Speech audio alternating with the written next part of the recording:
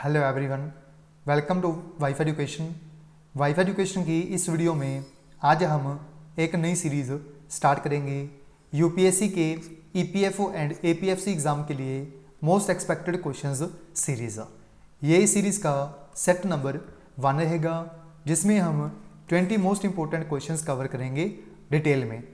आप सभी को पता चल चुका होगा, आपका जो एग्ज़ाम है वो 2 जुलाई संडे वाले दिन कंडक्ट होगा। ठीक है? 2023 में सिर्फ़ और सिर्फ़ आपके एग्ज़ाम में 10 दिन बचे हैं इस पेपर को क्लियर करने के लिए, तैयारी करने के लिए। ये जो सीरीज़ होगी, ठीक है? इसमें हम इन 10 दिन में काफ़ी सारे सेट्स आप तक लेके आएँगे। बिल्कुल एग्ज़ाम ओरिएंटेड क्वेश्चंस कवर होंगे हर एक सेट में, ठीक है? और इसके जो एडमिट कार्ड्स हैं, वो भी आउट हो चुके हैं। आप अपने जो एडमिट कार्ड्स हैं, वो भी डाउनलोड कर सकते हो यूपीएससी की ऑफिशियल साइट से, ठीक है? ये सेट नंबर वन मैं आप तक लेके आ रहा हूँ, मेरा नाम है Mohit Garg. So let start the video सबसे पहला क्वेश्चन देखिए in which of the following place of Mesopotamia the textual reference for Indus trade in the form of Dilmun Magan and Meluhha was reported यानी Mesopotamia का कौन सा place है, जिसमें से हमें टेक्सटुअल रेफरेंस मिलता है इंडस ट्रेड का in the form of Dilmun Magan and Meluhha ठीक है? ये जो फॉर्म है, इस फॉर्म में टेक्सटुअल रेफरेंस मिलता है मेसोपोटामिया के कौन से प्लेस से? ऑप्शन आप यहाँ पे देख सकते हो A B C and D इस क्वेश्चन का जो सही उत्तर है हमारा वो है डी ऑप्शन अक्कड़। जो अक्कड़, जो प्लेस है मेसोपोटामिया का, यहाँ से हमें टेक्सटुअल रेफरेंस मिलता है इंडस स्टेट का। इस क्वेश्चन का सही उत्तर है हमारा D option Akkad. Which of the following ruler of Kashmir constructed the channels for irrigation on Jhelum river यानी कौन से राजा थे, कौन से शासक थे कश्मीर के, जिनके द्वारा चैनल जो है वो कंस्ट्रक्ट किया गया था इरिगेशन के लिए झेलम रिवर के ऊपर। झेलम रिवर के ऊपर जो इरिगेशन के लिए चैनल बनवाया गया था कंस्ट्रक्ट करवाया गया था, ये राजा थे कश्मीर के इनके द्वारा बनवाया गया था। इनका नाम क्या है? ऑप्शन यहाँ पे देख सकते हो आप। A B C and D ये जो राजा थे, इनका नाम है अवंती वर्मन। जो अवंती वर्मन राजा हैं, इनके द्वारा बनवाया गया था channels for irrigation on Jhelum river इस क्वेश्चन का सही उत्तर है हमारा सी ऑप्शन, अवंती वर्मन। उसके बाद नेक्स्ट क्वेश्चन देखिए, थर्ड नंबर क्वेश्चन। इसमें दो लिस्टें हमें दी गई हैं। इनको आपसे में मैच करना है। एक में नेम दिया गया है जिना का और दूसरी लिस्ट में दिया गया है कॉग्निसेंस। इनको आपसे में मैच करना है। सबसे पहले देखिए, आदिनाथ। आदिनाथ जो हैं, ये एसोसिएट हैं किसके साथ? बुल के साथ। ये मैच हो जाएगा फोर्थ के साथ। यानी ए जो है, ये मैच होगा फोर्थ के साथ। उसके बाद शांतिनाथ शांतिनाथ मैच होगा हमारा डियर के साथ। इसी तरह नेमीनाथ, कौंच, शल के साथ और परशवनाथ जो है, ये मैच हो जाएगा स्नेक के साथ। यानी फोर, थ्री, टू, वन। इस क्वेश्चन का आंसर बनेगा हमारा, इस क्वेश्चन का B option four, three, two, one. यानी इस क्वेश्चन का आंसर होगा हमारा B option which of the following minor rock edict of Ashoka engraved the numerical number of both in words and figures यानी इसमें से कौन सा ऑप्शन है हमारा, जिसमें से जो न्यूमेरिकल नंबर दिए गए हैं, वो इसमें से कौन से एडिक्ट पे पाए गए थे पहली बार? ठीक है? ये पूछा गया हमें इस क्वेश्चन में। न्यूमेरिकल नंबर जो हैं, ये वर्ड्स एंड फिगर्स दोनों में पाए गए हैं। ठीक है? ऑप्शन यहाँ पे आप देख सकते हो, कौन सा माइनर रॉक एडिक्ट है जिसमें से जो ये जो न्यूमेरिकल नंबर हैं, ये पाए गए। मस्की गुजारा ठीक है? उसके बाद अहरौरा या फिर पंगरोरिया। इस क्वेश्चन का जो सही उत्तर है हमारा वो है अहरौरा। जो अहरौरा जो है ये है माइनर रॉक एडिक्ट जिसमें से न्यूमेरिकल नंबर जो हैं ये वर्ड्स एंड फिगर्स में दोनों जो प्ले दो, दोनों जो हैं वो पाए गए थे। न्यूमेरिकल नंबर थे वर्ड्स इन एंड फिगर्स में ठीक है? इस क्वेश्चन का आंसर बनेगा हमारा सही option Ahraura. Arrange the following in chronological order and select the correct answer from the codes given below. ठीक है? इनको हमने क्रोनोलॉजिकल ऑर्डर में अरेंज करना है। ठीक है? सबसे पहले तहमाज नामा बाई तहमाज खान। इनको सबको सबसे पहले अरेंज करना है। सबसे पहला कौन सा आएगा हमारा? सबसे पहला आएगा दाबिस्तान ई मुजाहिब बाय मोहसिन फ़नी। यानी सबसे पहले आएगा हमारा सेकंड ठीक है? ये दोनों ऑप्शन हमारे नहीं हो सकते इस क्वेश्चन के आंसर उसके बाद उसके बाद आएगा हमारा इबारतनामा मिर्ज़ा बाई मोहम्मद हरसी, यानी उसके बाद थर्ड आएगा हमारा। टू के बाद थर्ड दोनों में दिया गया है। उसके बाद नेक्स्ट देखिए। नेक्स्ट आएगा हमारा तहमाज नामा बाय तहमाज खान, यानी सबसे पहले वाला। उसके बाद लास्ट में आएगा हमारे पास जगनामा बाय काजी नूर मोहम्मद, यानी लास्ट में आएगा फोर्थ यानी इस क्वेश्चन का आंसर बनेगा हमारा C option two three one four two three one four उसके बाद नेक्स्ट क्वेश्चन देखिए six number question are reconciliation of Vedanta and Shaivite beliefs was developed by which of the following यानी reconciliation of Vedanta and Shaivite beliefs ये develop किया गया है किसके द्वारा? ठीक है? किसके द्वारा डेवलप किया गया है? ठीक है? ऑप्शन यहाँ पे देख सकते हो आप। A B C and D इनको डेवलप किया गया है अपाया दीक्षिता के द्वारा। अपाया दीक्षिता के द्वारा डेवलप किया गया है। Reconciliation of Vedanta and Shaivite beliefs इन दोनों को डेवलप जो किया गया है, वो किया गया है अपाया दीक्षिता के द्वारा। इस क्वेश्चन का सही उत्तर है हमारा अपाया दीक्षिता ए ऑप्शन उसके बाद नेक्स्ट देखिए which facts are true about Vijayanagar empire Vijayanagar empire के बारे में हमें चार स्टेटमेंट्स दी गई हैं। पूछा गया है, इनमें से कौन सी स्टेटमेंट ट्रू है?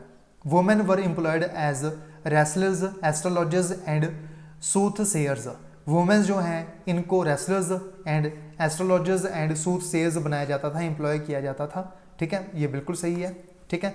यानी जो वुमेन्स थी, ये रेसलर भी थी एस्ट्रोलॉजर्स भी थी, इस विजयनगर एम्पायर में। ठीक है? सूथ सेयर्स भी थी। The city of Vijayanagar had seven citadels यानी जो सिटी थी, विजयनगर की, वो उसमें सेवन सिटाडल्स थे, ये भी बिल्कुल सही है, ठीक है? यानी पहली दोनों जो स्टेटमेंट है, बिल्कुल सही है, ठीक है? इसमें पहली नहीं आई, इसीलिए हमारा आंसर नहीं हो सकता।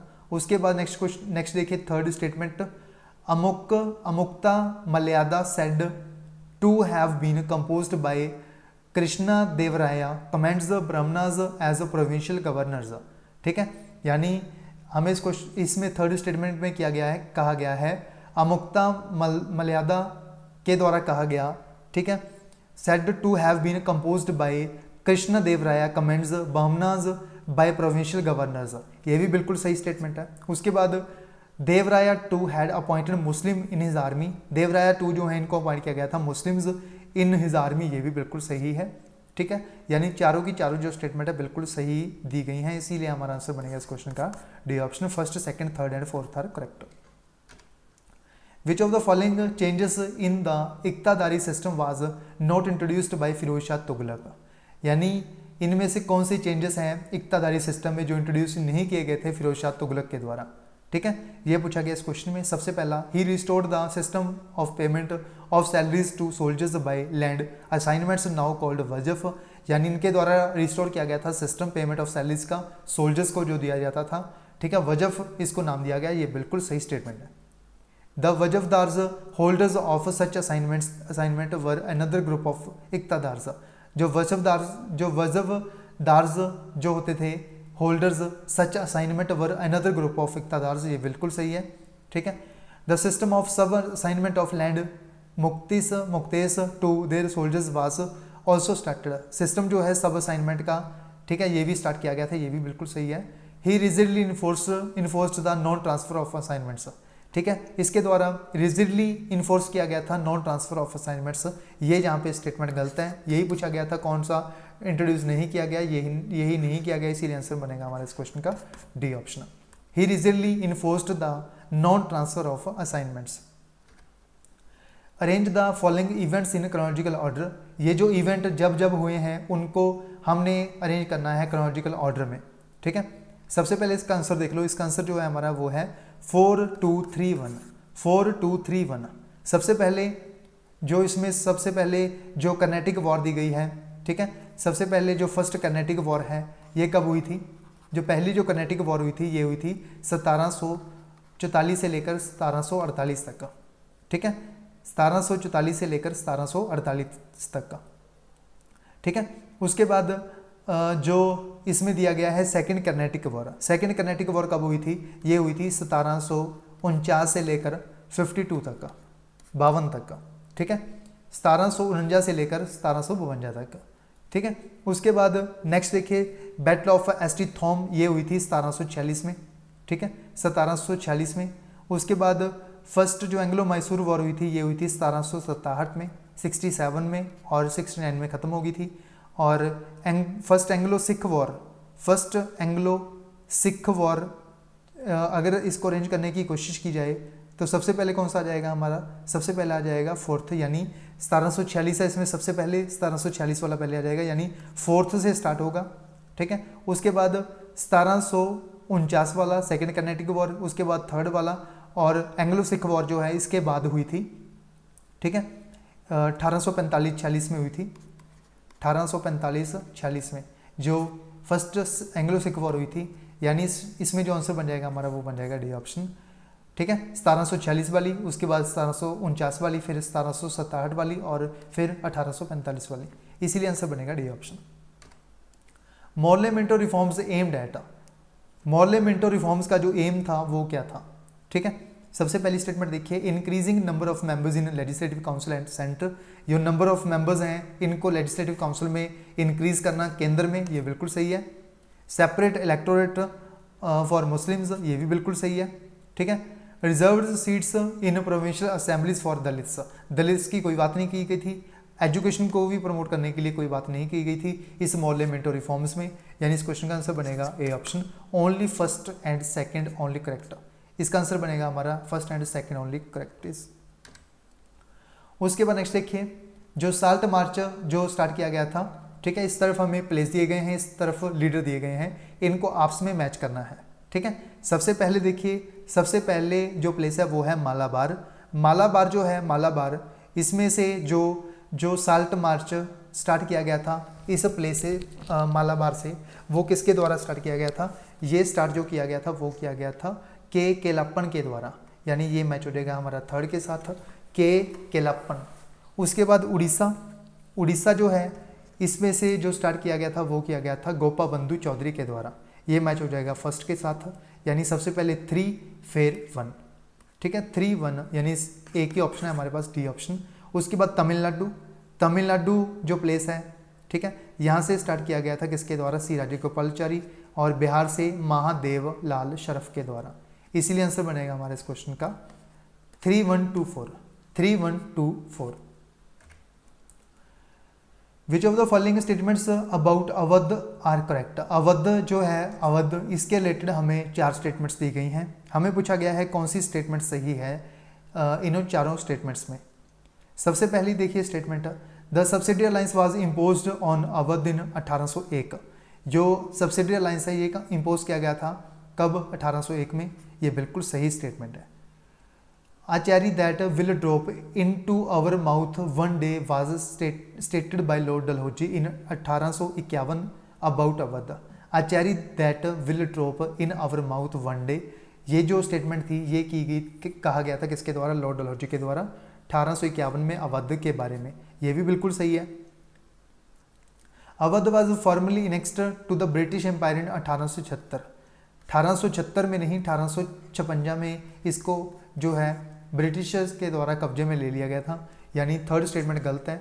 The life was gone out of the body was lamented from Nawaz Nawab Wajid Ali Shah who was dethroned and exiled to Kolkata on the text of misgovernance ये भी बिल्कुल सही है। नवाब वाजिद अली शाह जो हैं, इनको डी थ्रोन कर दिया गया था और कोलकाता इनको भेज दिया गया था। ठीक है मिस गवर्नेंस के कारण। ठीक है? ये बिल्कुल सही है फोर्थ स्टेटमेंट यानी पहली, दूसरी और चौथी स्टेटमेंट बिल्कुल सही है, इसीलिए आंसर बनेगा इस क्वेश्चन का। हमारा पहली, दूसरी और चौथी ए ऑप्शन में दिया गया है, इसीलिए आंसर बनेगा A option what are the true about the cabinet mission plan cabinet mission plan के बारे में हमें स्टेटमेंट्स दी गई हैं चार। पूछी गई है कौन सी स्टेटमेंट सही है? ठीक है? कौन सी स्टेटमेंट सही है? सबसे पहली statement it recommends three tier confederation for a weak weak centre government central government controlling foreign affairs defence and communication ये बिल्कुल सही स्टेटमेंट है। ठीक है? Provincial assemblies while electing constituent assembly by grouped into three section Hindu majority provinces Muslim majority provinces और Muslim majority provinces ये भी बिल्कुल सही है। ठीक है? Grouping to be compulsory at first but provinces have the right to opt out after new constitution and elections ये भी बिल्कुल सही स्टेटमेंट है। On the basis of Congress in March उन्नीस सौ सैंतालीस divided Punjab into two Muslim majority west and Hindu west and Hindu Sikh majority east आजकल similar application in Bengal Punjab में इस, इस प्रकार का कुछ भी नहीं देखा गया। सिर्फ़ और सिर्फ़ बंगाल में ये जो स्टेटमेंट है वो वैलिड होती है इसीलिए हमारा आंसर बनेगा इस क्वेश्चन का। पहली तीनों स्टेटमेंट सही है चौथी जो स्टेटमेंट है वो गलत दी गई है। इसलिए आंसर बनेगा इस क्वेश्चन का हमारा B option first second and third statement is correct only the place where Jhelum Beas river Ravi and Chenab join together into Indus is यानी जो प्लेस है जेलम ब्यास रावी चनाब एंड जेलम एंड इंडस ये पाँचों जो रिवर्स मिलती हैं, इस प्लेस को क्या बोलते हैं? इसको कहते हैं मिथान कोट, जो पाकिस्तान में इसीलिए आंसर बनेगा इस क्वेश्चन का ये option Mithankot in Pakistan. उसके बाद नेक्स्ट देखिए लिस्ट वन में टॉम मकबरे और लिस्ट टू में प्लेस दिए गए हैं, जहाँ यहाँ पे इनके जो मकबरे हैं, वो दिए गए हैं। सबसे पहले शमशेर खान टॉम्ब शमशेर खान की जो टॉम्ब है मकबरा है, ये बटाला में है, ये मैच हो जाएगा सेकंड के साथ। ठीक है? उसके बाद हुमायूं का जो मकबरा है, ये कहाँ पे है? ये है दिल्ली में, ये मैच हो जाएगा हमारा फोर्थ के साथ। ठीक है? जहांगीर का जो मकबरा है, ये कहाँ पे है? ये है लाहौर के पास। शादरा बाग में, ठीक है? ये मैच हो जाएगा हमारा फ़र्स्ट के साथ, ठीक है? फ़र्स्ट और जो मोहम्मद मोमिन एंड हाजी जमाल जो हैं, इनकी जो मकबरा है वो नकोदर में हो जाएगा, कहाँ पे? जलंधर में, ठीक है? यानी two four one three two वो four one three two four one three यानी आंसर बनेगा D option two four one three read the following statements about Chishti silsila carefully Chishti की जो चिश्ती सिलसिला जो है इसके रिलेटेड हमें स्टेटमेंट्स दी गई हैं और पूछा गया है कौन सी स्टेटमेंट इसमें से करेक्ट है। ठीक है?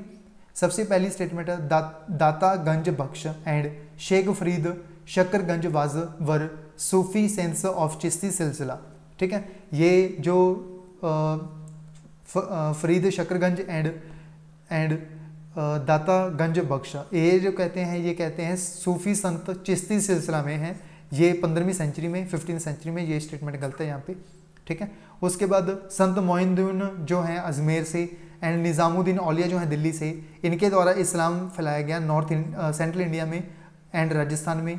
ये चिश्ती सिलसिला से बिलोंग करते हैं, ये बिल्कुल सही स्टेटमेंट है। The sultan of Delhi offered the post of Sheikh al Islam to Khwaja Qutbuddin Bakhtiyar Kaki but he denied to to accept it owing to the restrictions laid on political in, involvement by Chisti tradition, tradition ये भी बिल्कुल सही है। Sheikh Nizamuddin Auliya lived and worked arduously to make Delhi as the nerve centre of Chishtis ठीक है? ये भी बिल्कुल सही है यानी दू, दूसरी तीसरी और चौथी स्टेटमेंट बिल्कुल सही है। यानी इस क्वेश्चन का आंसर बनेगा हमारा फ़र्स्ट ऑप्शन ये ऑप्शन दूसरी तीसरी और चौथी जो स्टेटमेंट है बिल्कुल सही है। बाकी जो पहली स्टेटमेंट है, ये यहाँ पे रॉन्ग हो जाएगी। इसलिए आंसर बनेगा इस क्वेश्चन का ए ऑप्शन उसके बाद रीजनिंग एंड मैथ के क्वेश्चन देखते हैं, ठीक है? एक कहते सिंपल एनालॉग जो क्लॉक है, ठीक है? इसमें बारह बज के पंद्रह मिनट का टाइम हुआ हुआ है, ठीक है? इसमें जो एंगल बनेगा वो कितने डिग्री का बनेगा? घंटे वाली सुई और मिनट वाली सुई के बिचकार अगर देखा जाए, सबसे पहले बारह बारह यहाँ पे बजेंगे और जो पंद्रह होंगे यहाँ पे होंगे, यानी तीन की सुई यहाँ पे होगी, ठीक है? बारह पंद्रह होने का मतलब क्या है? छोटी जो सुई होगी वो यहाँ पे होगी और जो बड़ी सुई होगी वो यहाँ पे होगी। ठीक है? अगर देखा जाए इसमें कितना फ़र्क है यानी एक दो आ जाएगा बारह से लेकर एक तक एक से लेकर दो तक दो से लेकर तीन तक। ठीक है? मिनट वाली सुई जो है ये एक एक इंटरवल में कितने डिग्री का एंगल बनाती है वो बनाती है। यानी पाँच मिनट में जो एंगल बनाती है वो कितने डिग्री का बनाती है? छः डिग्री का। ठीक है? इसमें देखा जाए अगर तक कितने आ, कितने डिग्री का एंगल बनेगा? तीस तीस डिग्री का एंगल बन जाएगा। ठीक है, एक मिनट में छः डिग्री का एंगल बनाती है, पाँच मिनट में कितना बन जाएगा? तीस डिग्री का। ठीक है, यानी यहाँ पे भी तीस का, यहाँ पे भी तीस का, यहाँ पे भी तीस का। यानी मिनट वाली सुई जो है वो नब्बे डिग्री का जो एंगल है वो क्रिएट कर देगी। और उसके बाद अगर देखा जाए, जब बारह पंद्रह होंगे तो जो घंटे वाली सुई है, वो यहाँ पे बारह पे ना होके यहाँ पे थोड़ी सी इस तरफ़ आ जाएगी। ठीक है, इसमें से ये घटा देंगे, कितना फ़र्क हो जाएगा? ठीक है, पंद्रह मिनट में ठीक है? ज़ीरो पॉइंट फाइव डिग्री का एंगल बनाती है। मिनट वाली सुई जो घंटे वाली सुई जो होती है एक मिनट में, और पंद्रह मिनट में कितना डिग्री का एंगल बनेगा वो मल्टीप्लाई कर देंगे। नब्बे डिग्री से माइनस कर देंगे, साढ़े सात डिग्री, और कितना आंसर रहेगा हमारा? Eighty two point five degree. इसीलिए आंसर बनेगा इस क्वेश्चन का हमारा D option eighty two point five degree, बयासी दशमलव पाँच डिग्री। उसके बाद नेक्स्ट देखिए, अठारह नंबर क्वेश्चन आयशा के द्वारा इन्वेस्ट किए गए हैं एक्स अमाउंट ठीक है? फिक्स्ड डिपॉजिट में एक अमाउंट है एक्स अमाउंट वो डिपॉजिट किए गए और छः परसेंट रेट ऑफ़ इंटरेस्ट मिलता है ठीक है? उसके बाद जितना पैसा मिला उसको एक साल के बाद उसका हाफ़ इसने पाँच परसेंट पर इंटरेस्ट पर जो है वो स्पेंड कर दिया और बचा हुआ जो पैसा है उसका आधा तीन परसेंट पे जो सेविंग अकाउंट में रहने दिया और जो आ, उसका आधा था वो उसने खर्च कर दिए ठीक है? हमें पूछा गया इस क्वेश्चन में जो एक्स की वैल्यू वो कितनी है और लास्ट में जो अमाउंट बचती है वो कितनी बचती है? Ninety nine thousand five hundred thirty four. ठीक है? ये पूछा गया इस क्वेश्चन में हमें, अगर सबसे पहले हमें इसमें एक वैल्यू मांग, माननी पड़ेगी एक्स की। एक्स की वैल्यू कितनी मान सकते हैं हम? सौ मान सकते हैं, दो सौ, चार सौ। इससे ज़्यादा भी मान सकते हो, इसमें हम मानेंगे चार सौ, क्योंकि इसमें हमने दो तीन बार जो है वो हाफ़ वैल्यू करनी है, इसलिए हम मान लेंगे चार सौ रुपये ठीक है? अगर चार सौ रुपये एक्स की वैल्यू है प्रिंसिपल सम जो है वो कितना है? चार सौ रुपये छः परसेंट इंटरेस्ट लगता है छः परसेंट इंटरेस्ट यानी चाची के चौबीस, यानी एक साल बाद जो अमाउंट हो जाएगी, वो कितनी हो जाएगी? चार सौ चौबीस रुपये एक साल बाद जो अमाउंट हो जाएगी, वो कितनी हो जाएगी? चार सौ चौबीस रुपये ठीक है? चार सौ चौबीस का जो आधा है, वो इस आयशा के द्वारा पाँच परसेंट इंटरेस्ट पर जो है, वो स्पेंड किया गया। यानी चार सौ चार का, चार सौ चौबीस का जो आधा होगा, वो कितना होगा? दो सौ बारह। कितने रेट ऑफ़ इंटरेस्ट पर? पाँच परसेंट एक साल के लिए बटे कितना जाएगा? सौ प्लस उसके बाद 212 बच गए। 212 का कहते 106 जो हैं, वो खर्च कर दिए। ठीक है? ये जो स्पेंड कर दिए, ये जो एक सौ रुपये हैं, बचे एक सौ रुपये एक सौ रुपये जो हैं, वो तीन परसेंट रेट ऑफ़ इंटरेस्ट पर स्पेंड कर दिए। बटे कितना आ जाएगा? हमारा सौ। ठीक है? दो सौ बारह गुना पाँच किया तो वैल्यू कितनी आ जाएगी हमारी? ये वैल्यू कितनी आ जाएगी? एक हज़ार साठ। बटे कितना? हंड्रेड एज इट इज़ एक सौ छः गुना तीन किया, तीन सौ अट्ठारह। बटे कितना आ जाएगा? सौ। एक हज़ार साठ प्लस तीन सौ अठारह, यानी तेरह सौ अठहत्तर, बटे कितना आ जाएगा सौ। ये वैल्यू कितनी बन गई हमारी? तेरह पॉइंट अठहत्तर थर्टीन पॉइंट सेवन एट और ये जो वैल्यू हमारे पास आ चुकी है, ये इंटरेस्ट आ चुका है एक्चुअल में, ठीक है? और जो अमाउंट है वो कितनी बन जाएगी? दूसरे साल के बाद। अगर देखा जाए स्पेंड कितनी की थी? दो सौ बारह रुपये ये स्पेंड किए, एक सौ छः रुपये ये स्पेंड किए। इन दोनों को ऐड कर देंगे। तीन सौ अठारह, ठीक है? तीन सौ अट्ठारह रुपये ठीक है? तीन सौ अट्ठारह प्लस तेरह पॉइंट अठहत्तर। ये दोनों ऐड किए, अगर वैल्यू इनकी देखा जाए तो कितनी वैल्यू आ जाएगी हमारे पास? तीन सौ अट्ठारह और तेरह तीन सौ इकतीस। तीन सौ इकतीस दशमलव सेवन एट परसेंट। ये वैल्यू हमारे पास आ चुकी है। ये एक्चुअल में जो वैल्यू है वो कितनी है? निन्यानवे पाँच सौ चौंतीस। कितनी वैल्यू के साथ मल्टीप्लाई किया जाए कि निन्यानवे पाँच सौ चौंतीस जो है, ये वैल्यू बन जाए? इसको 99,534 बनाने के लिए 300 से मल्टीप्लाई करना पड़ेगा। ठीक है? 300 से मल्टीप्लाई करना पड़ेगा। अगर 300 से यहाँ पे मल्टीप्लाई किया है हमें x की वैल्यू पूछा गया है x की वैल्यू कितनी मानी है हमने? 400 400 को भी हमें 300 से मल्टीप्लाई करना पड़ेगा। 400 गुना 300 किया तो वैल्यू कितनी आ जाएगी? एक लाख बीस हज़ार। यही हमें इस क्वेश्चन में पूछा गया था। इस क्वेश्चन का आंसर बनेगा हमारा सी ऑप्शन एक लाख बीस हज़ार। उसके बाद 19 नंबर क्वेश्चन देखिए। 19 नंबर क्वेश्चन में कहा गया है water flowing from a tap at a constant rate R litres per minute can fill a cylindrical tank in six minutes यानी जो टैंक है, इसको वाटर जो है वाटर की एक टैप लगाई, जो सिक्स मिनट्स में ये जो टैंक है वो फिल कर देती है आर लीटर्स जो पानी है वो एक मिनट में जो है इस टैंक में डलता है। यानी टोटल जो टैंक की कैपेसिटी अगर देखा जाए टैंक की टोटल जो कैपेसिटी होगी वो कितनी होगी? सिक्स आर क्योंकि आर जो लीटर है, एक मिनट में डाला जाता है छः मिनट में टैंक जो है फिल हो जाता है। छः मिनट में कितना डल जाएगा? Six six six litre. या फिर हम कह सकते हैं सिक्स आर, ठीक है? आर लीटर से पानी डलता है ना, इसीलिए हम, हमने मान लिया कि सिक्स आर जो पानी है वो डल गया इस टैंक में छः मिनट्स में, ठीक है? उसके बाद हमें कहा गया है, एक होल किया गया इस टैंक के बॉटम में so that water flows out of the tank at a constant rate one third of the rate of flow water from the tank यानी जो पानी, एक तिहाई जो पानी है, वो नीचे फ्लो कर जाता है। ठीक है? जो पानी है एक तिहाई, वो टैप जो है चलती रहती है और पानी जो है वो फ्लो नीचे कर जाता है क्योंकि नीचे जो है एक होल है। ठीक है? हमें पूछा गया इस क्वेश्चन में when the tank gets full the hole gets sealed automatically if the tank is empty to begin with the water start, starts flowing from the tap at the at rate r liters per minute. How long will it take for the tank to become full ठीक है tank को fill करने के लिए कितना समय लग जाएगा ये पूछा गया है।